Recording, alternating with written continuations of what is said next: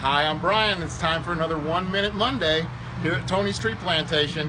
And today we are talking fall decoration, and we have got it going on here for fall. We've got all kinds of incredible pumpkins and gourds. Look at all these crazy shapes, sizes of gourds. I love all the different colors that we have and all the different shapes and sizes.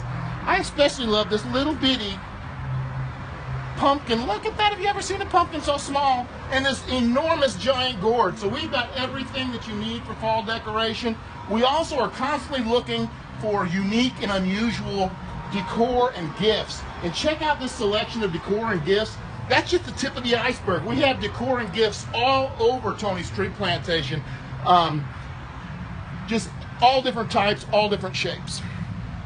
We also have incredible mums Look at that tricolor mum. Great to just set out. You set it out, that's an immediate decoration.